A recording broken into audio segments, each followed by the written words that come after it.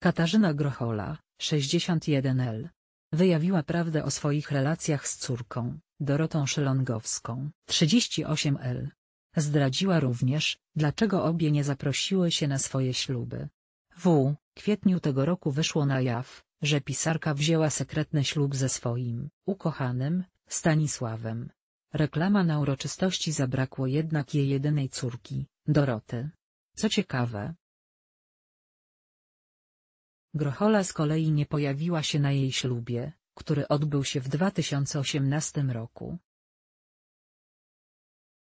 To zrodziło plotki na temat rzekomego konfliktu pomiędzy nimi.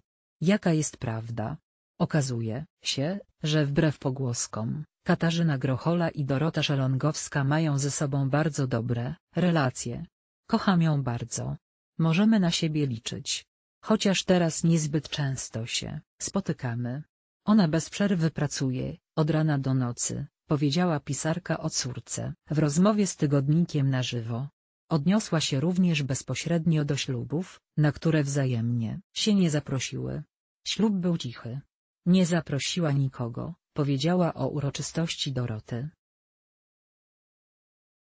Zresztą nie była też na moim, pomimo naszych dobrych stosunków.